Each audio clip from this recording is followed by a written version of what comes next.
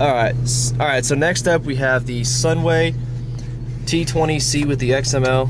I've already had a couple videos of this one as well, but I'll show them again. It's also got the sapphire or the uh, mineral coated lens.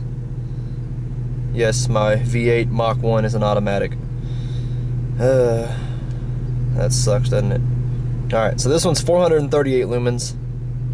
It's actually not bad when it when you compare it against the, the BC40, it actually doesn't do too bad at all. I, I mean, yeah, it really doesn't do too bad.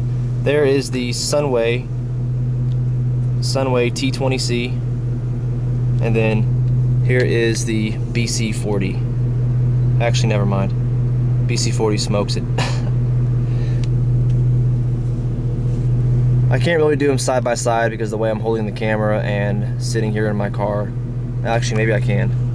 Okay. There is the Sunway T20C, and then there is the BC40. Sunway T20C, BC40. Sunway. Sorry, the camera's shaking. I have this flashlight in my hand and my camcorder hand. So I'm holding a camcorder and a flashlight with the same hand. Sunway T20C with the XML, BC40. Big difference, but still not bad. All right, thanks for watching, guys.